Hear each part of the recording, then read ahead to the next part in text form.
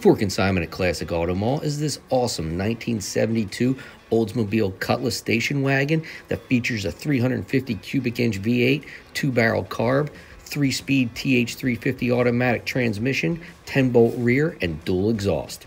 It has some flaws and rust, but runs smooth with decent handling and acceleration. For all the pictures and details you need, visit classicautomall.com where you can easily search through more than 1,000 cars in our inventory.